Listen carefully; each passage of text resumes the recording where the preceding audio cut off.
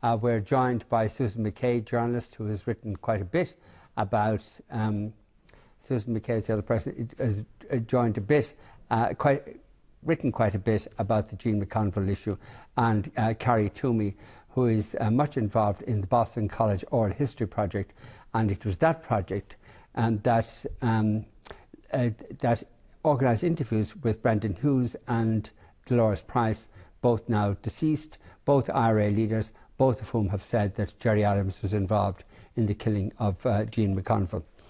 Um, let's talk a bit about the kill, killing of Jean McConville um, first, uh, Susan. Um, what in, is, as far as you know, is the evidence that uh, Gerry Adams had any involvement with it? Well, um, he has been said to have been involved by several senior Republican figures who would have known and um, I think that his denials of involvement are seriously undermined, unfortunately for him, by the fact that he denies that he was even in the IRA. So, given that we cannot possibly credibly believe that he wasn't in the IRA, we can't then take seriously his denials that he wasn't involved in the Jean McConville case, given that senior figures are saying that he was and that all the evidence seems to point to the fact that he was a senior figure in the IRA in West Belfast at that time. People are speculating tonight that he may be charged with the, in connection with the murder of Jim McConville. What possible evidence is there to charge him, as far as you know? Um, I don't think that there's any prospect that Gerry Adams could be convicted in relation to this murder. And I, I notice in one of the, the papers tonight that um, Helen McKendry, um, Jean McConville's very brave and outspoken daughter, has said the same, that That's she doesn't Guardian, actually yeah. believe that, that he will end up being uh, convicted of it. It would all be hearsay evidence, and it's extremely unlikely that Ivor Bell is going to talk uh, in, in court about this. So, and the other people who have spoken extensively about it are, as you said in your intro, dead. So it's extremely unlikely that she's, yeah. she, it's ever. The tapes I mean, themselves couldn't really get into evidence. Um, I can't see how they could. Uh, no, uh, no.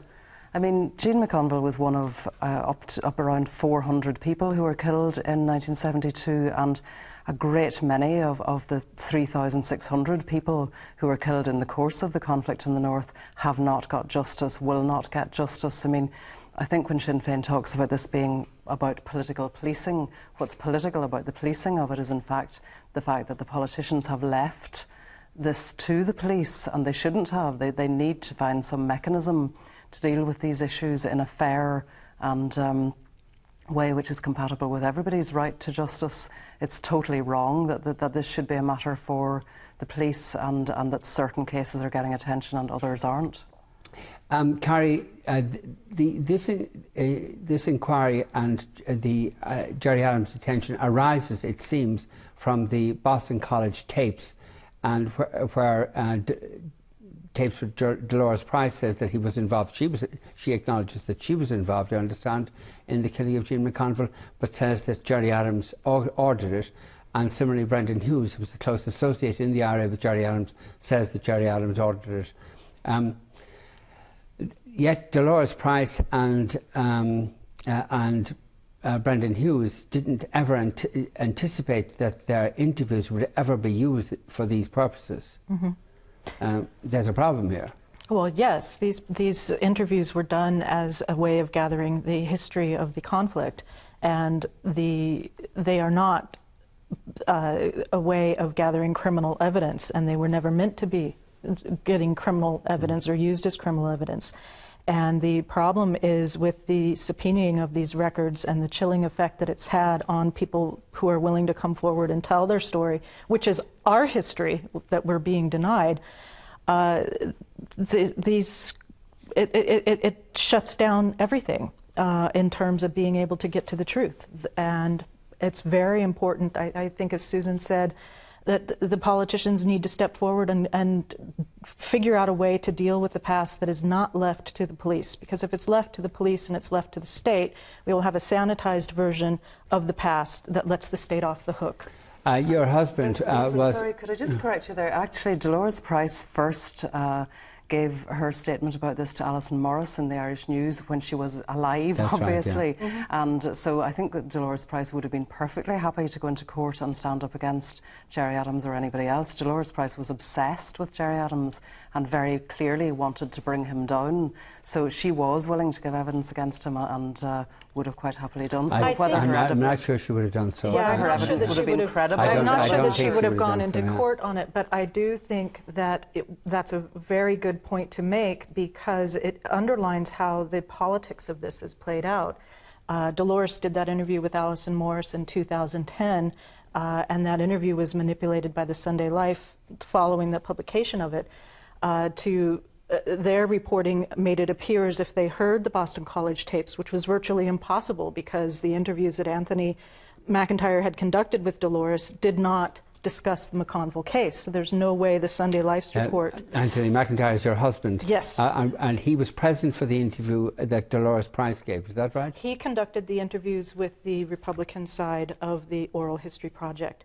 And the point is that that was in 2010 that this was conducted. The Irish News was never approached until 16 months after that interview was conducted when it was pointed out in court that the police had not gone to the Irish News or the Sunday Life and said, well, here's this information, this new information, here's somebody coming forward, give us your notes. Now, obviously, they would have the different. Are you saying that in, in the interview, uh, the Boston College uh, uh, uh, taped interview that your husband gave, uh, uh, sorry, that your husband did with Dolours Price, that she didn't, in that interview, mention uh, Gerry Adams' involvement in the murder of Jean McConville?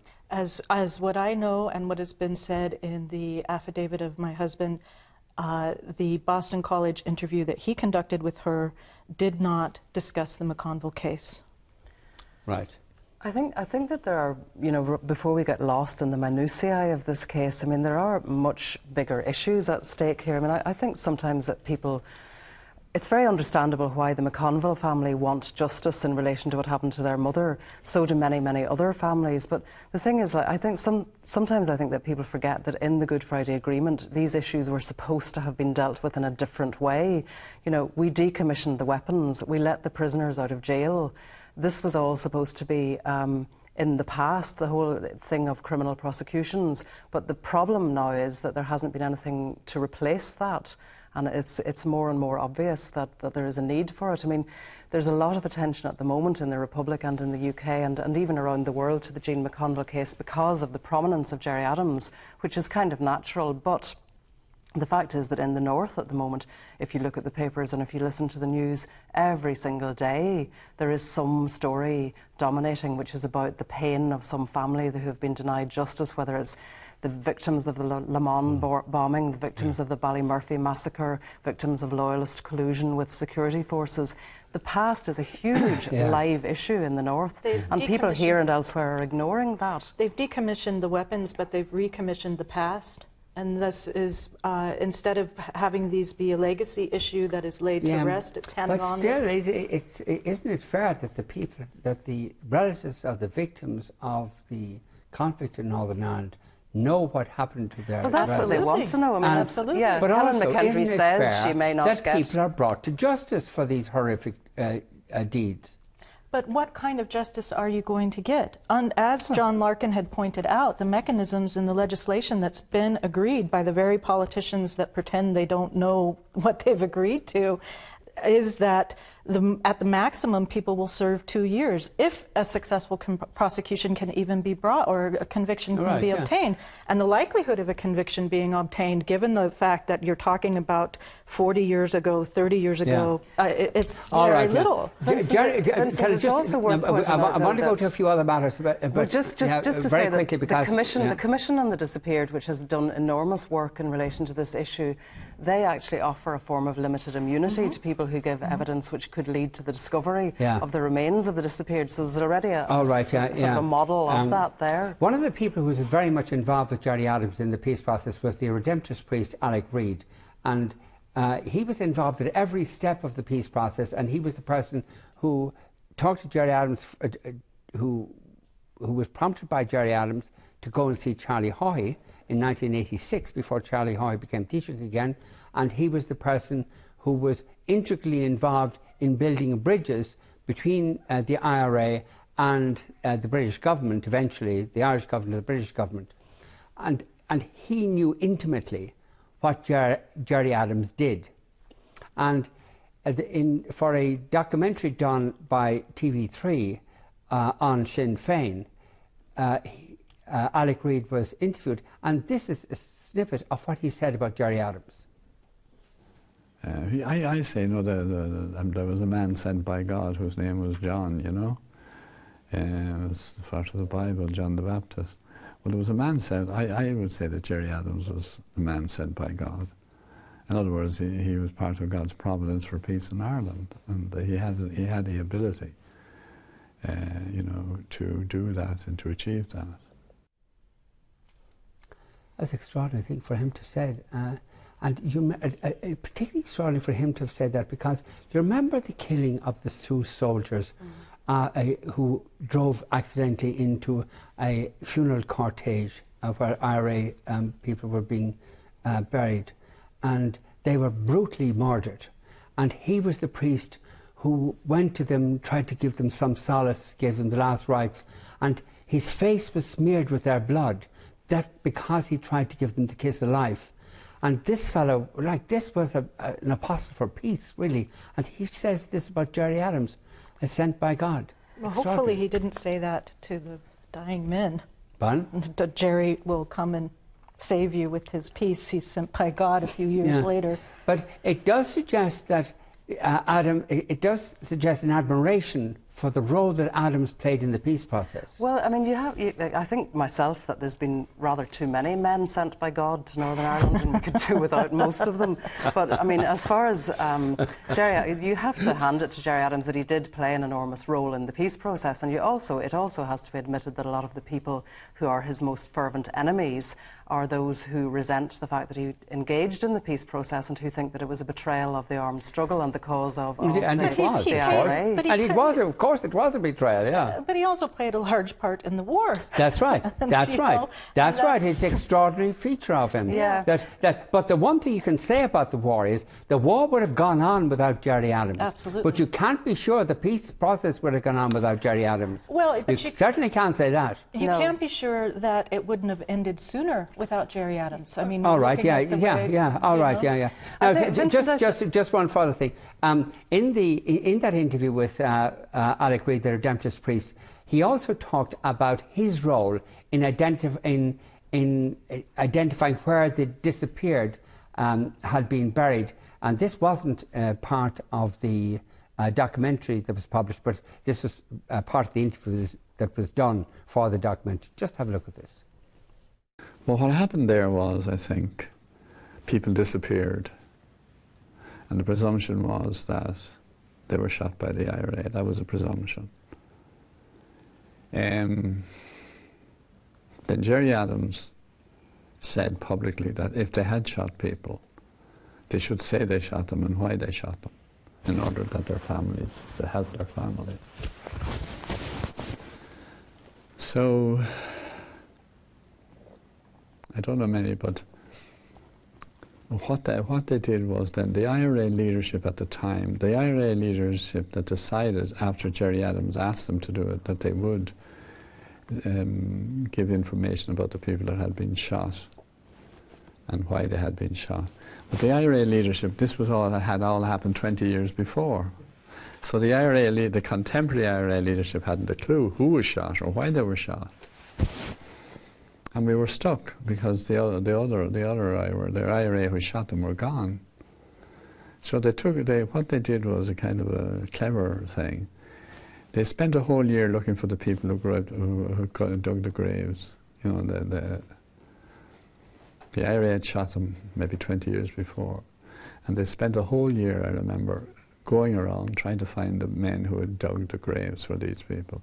And then I, I used to meet them with balaclavas on them. And we'd go into a field and they'd say, I can remember being in a big field one day and they said to me, look, there are two bodies in this field. It's, it's, Go ahead. It's that indulgence of the fudge of Gerry Adams that has prolonged this. I mean, th- to, to, listen to what he's saying, um, and as if he actually believed it, is staggering that they're trying to say, well, 20 years ago we didn't know when, when this is the man that's alleged to have ordered these things and would have very well known, and prolonging the agony of the families that are looking for the bodies of their loved ones and still can't find them. It's just, it's sickening. I think it's interesting just uh, looking at what Adams has has said uh, in his statement about the arrest when he said, "I've never dissociated myself from the IRA, mm. and I never will." It's as if he is actually gradually moving towards some sort of position where he might mm. just admit that that he was okay. involved. But I mean, as far I'm as sorry, we've got to go to a break. After the break, we'll have just a minute or two after the break, and we're going to sh show you the front page of the Irish Daily Mail. Join us then.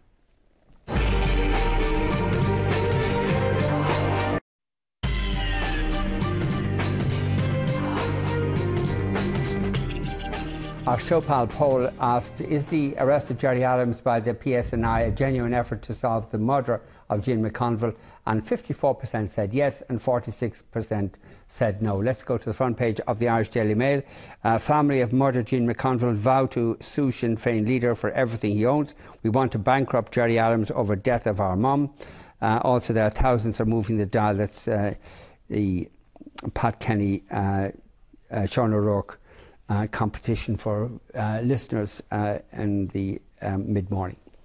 Um, uh, this thing about bankrupting Gerry Adams, I, I, don't know how that will work. I think that the McConville family, and I've met many members of the McConville family, they are very bitter and very angry, and their families have been extremely damaged. And the, the birth children of Jean McConville are estranged from each other and angry from each, angry with each other. And the damage is immeasurable. And like many other families who were similarly uh, suffered injustice um, during the, the Troubles, they uh, say these things. They, they say these things and they mean them. It doesn't mean that it's actually in any way going to happen, but it is indicative of the deep pain and distress and anger that, that is there. I think that this is actually uh, the potential for civil action is what has motivated the PSNI's move to, to get the access to the Boston Archives. Um, as has been noticed, noted in various places. if that's so, it's utterly improper by the PSNI. Totally, totally. Mm. And this is one of the things that I've, uh, we've objected to uh, with, and raised with the U.S. government in terms of why they facilitated the MLAT request in the first place and why the subpoena has been sealed. Because they're trying to solve a murder. Well, but what based on what? And when you look at the MLAT, I don't want to lose too much in the detail, but the MLAT says you have to have the ability a, successful prosecution, you know, it should be successful to be able to request this stuff.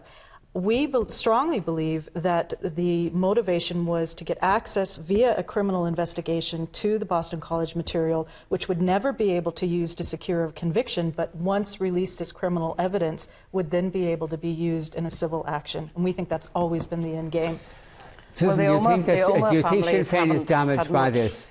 Uh, um, I think that uh, they may be damaged in this in the Republic in the sense that it's kind of dragging them back into dark times that they'd rather that they'd rather not be reminded of. While their new generation in the Republic is is convincing the public that they're really good at dealing with the modern contemporary Ireland and issues of uh, cuts and austerity and so on. I, I think that they will deter maybe some people who might have voted for Sinn Féin who wouldn't be hardcore Sinn Féin voters, but it won't deter people who are solid Sinn Féin voters, north or south. I don't think. I mean, they, are not going. Who who are people going to move to in the north, for example? They're not. Uh, okay, that's it for now. For more on tonight's programme, log on to tv3.ie. The weather is next us tonight. Good night.